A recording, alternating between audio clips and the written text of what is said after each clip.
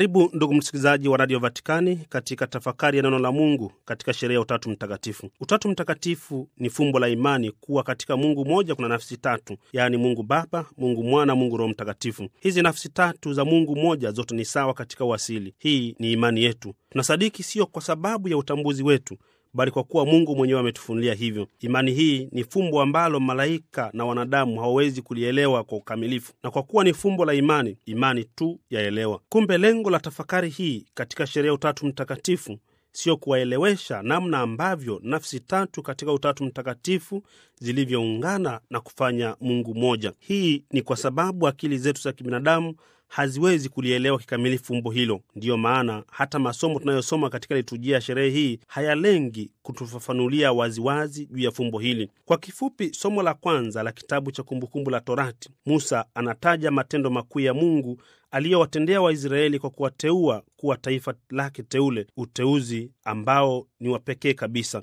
Hivyo anawakumbusha wawe waaminifu kwa Mungu, kwani ndiye Mungu pekee aliye juu na chini ya nchi hakuna mwingine.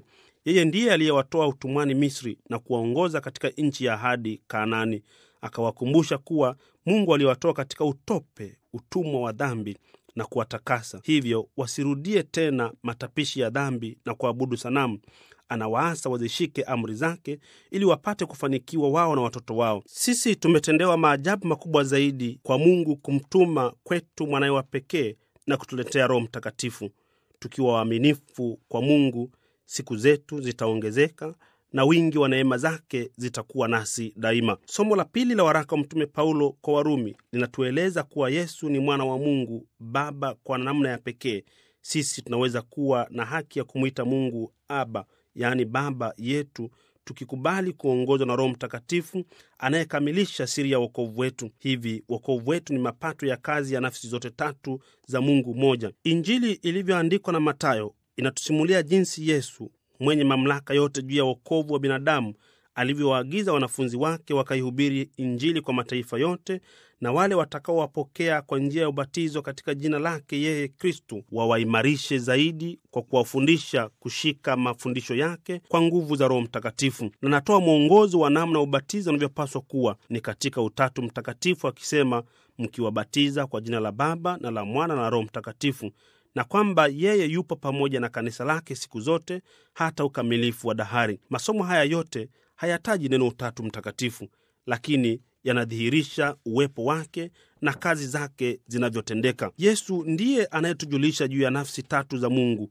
Yeye alimtambulisha Baba kwetu. Hakuna amjuaye Baba ila Mwana. Ninapaa kwenda kwa Baba yangu, naye ni Baba yenu pia, kwa Mungu wangu, naye ni Mungu wenu. Na msalipo usemeni, Baba yetu uliye mbinguni. Yesu anasitiza Baba yangu anawapenda, na uthibitisho kwamba Mungu anawapenda, alimtuma yeye ulimwenguni ili kila amwaminie asipotee, bali awe na uzima wa milele. Yesu pia alimtambulisha Roho Mtakatifu kwetu na kumkabidhi kwetu ili atufundishe na kutukumbusha yote juu ya Baba na Mwana. Katika Roho Mtakatifu tumeshirikishwa uzima wa kimungu ndani mwetu. Roho Mtakatifu anatushirikisha kuwa sisi ni wana wa Mungu, akituwezesha sisi kumwita Mungu Aba, yaani Baba. Yesu alitumia neno Aba kuonyesha mahusiano ya karibu na kufungamana kwetu na Baba yake. Kumbe sasa, shabaha ya sherehe ya Utatu Mtakatifu ni kutafakari jinsi Mungu mmoja katika nafsi zake tatu, yaani Utatu Mtakatifu, unavyofanya kazi katika maisha yetu, na hivyo sisi nasi tuweze kuutukuza huu Utatu Mtakatifu katika Mungu mmoja. Kila sadaka ya misa takatifu huanza kwa kufanya ishara ya msalaba, tukitamka maneno haya kwa jina la Baba na la Mwana na la Roho Mtakatifu. Maneno haya hutamkwa wakati wa ubatizo, anapomiminiwa maji katika paji la uso anayebatizwa.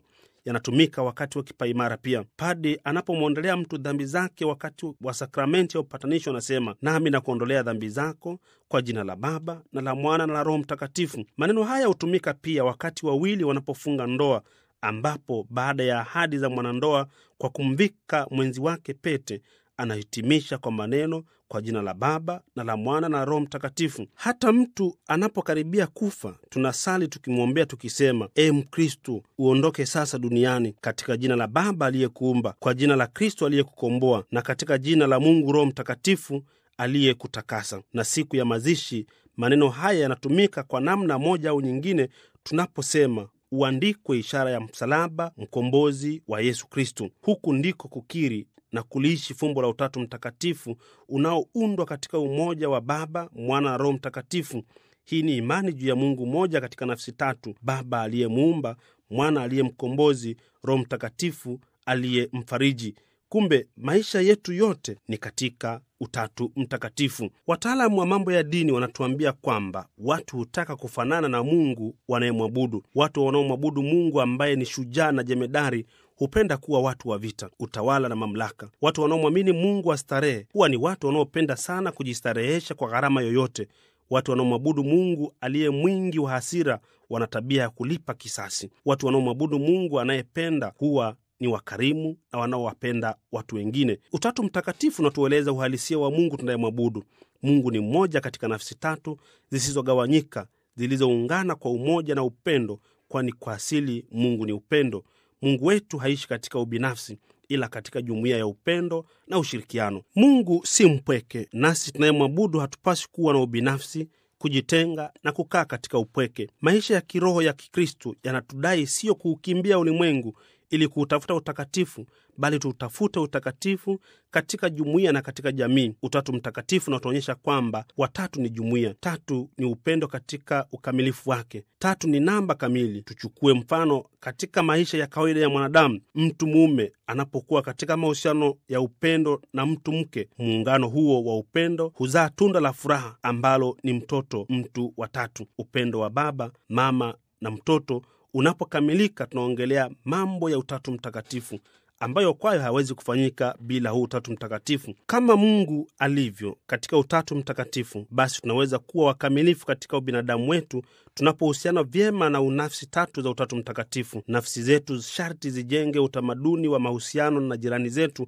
lakini zaidi mno mahusiano na Mungu katika utatu. Kwa namna hiyo, maisha yetu yatakuwa utatu kama yalivyo maisha ya Mungu. Ndipo tunapogundua kwamba kile kinachoitwa mimi kinakuwa mimi tu katika mahusiano na wengine, kinyume na utaratibu wa ulimwengu wa sasa unaoendekeza ubinafsi na umimi. Fundisho la Utatu Mtakatifu linatupatia changamoto ya mahusiano kati ya mimi, Mungu na jirani.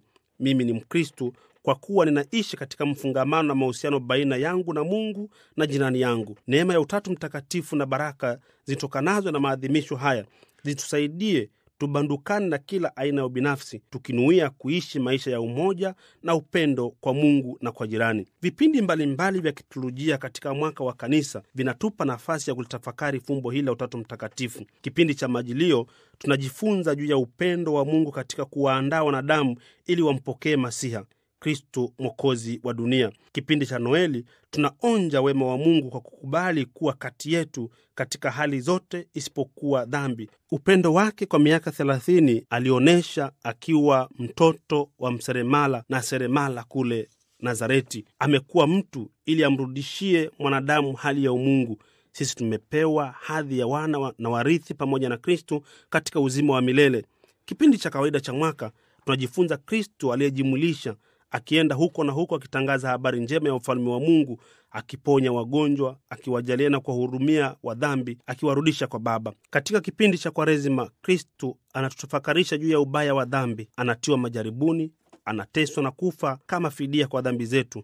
Na kipindi cha Pasaka ni juu ya ufuko wa Bwana wetu Yesu Kristu. Katika kipindi cha Pasaka tunatafakari juu ya ufuko wa Bwana wetu Yesu Kristu. Tumepewa uzima wa kimungu ndani yetu, msamaha unapatikana kwa wote mlango wa mbingu uko wazi kwa wote, na mwisho kabisa kristu anakaa kati yetu kama ndugu. Kipindi cha Pentekoste, kristu anahitimisha ahadi ya kumpeleka Roho Mtakatifu, na katika yeye tunapata maisha mapya ndani ya Mungu. Kanisa linatualika kutafakari matendo haya ya uokovu ya Utatu Mtakatifu, sio kama historia, bali katika kuyahuisha na kuyaishi katika nyakati zetu zote, kama mtu binafsi na kama jumuiya. Kwa maneno mengine, Baba, Mwana na Roho Mtakatifu wanafanya mchana na usiku katika ulimwengu wetu kama walivyofanya zamani, wakitupa hekima, nguvu na upendo, kila mmoja katika mwaka wake wa kiliturujia. Basi na tuifungue mioyo yetu, turuhusu Utatu Mtakatifu uendelee kujidhihirisha katika maisha yetu ya kila siku, ili siku moja tukashirikishwe katika utukufu wao huko mbinguni. Tumsifu Yesu Kristo. Toka studio za Radio Vatikani ni mimi Padri Paskali Irondo.